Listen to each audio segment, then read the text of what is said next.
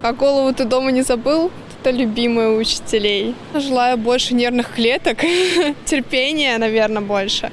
Больше э, стараться как-то держать себя в равновесии на работе, не как-то не реагировать на каких-то каких-то не очень хороших учеников, грубо говоря. Самая запоминающаяся фраза моего учителя была по математике, о том, что математика в жизни пригодится.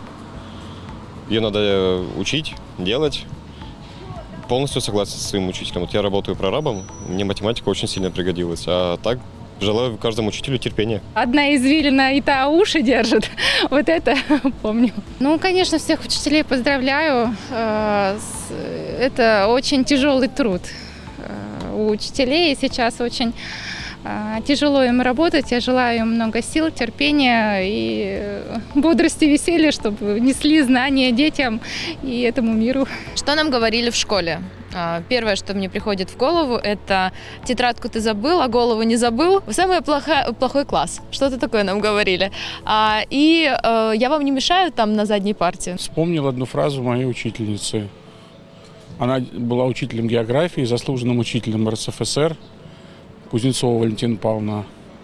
Она класс делила по регионам России, и когда кого-то вызывала из какого-то стороны класса, называла ну, по фамилии или по имени и говорила, эй, там на Камчатке, не шуметь. И вот так вот э, распределяла класс по, э, э, по регионам. Голову не забыли. Вот эти страхицы точ- точно были. Здоровье. Здоровье, терпение с детишками нашими и всего им самого хорошего в жизни. Мне запомнилась учительница французского языка. Она говорила всегда, когда входила по-французски «Bonjour, enfants, asseyez-vous». Здравствуйте, дети, садитесь. Если школа, то это самое лучшее время. Удачи, радости и терпения. Терпение, да, терпение.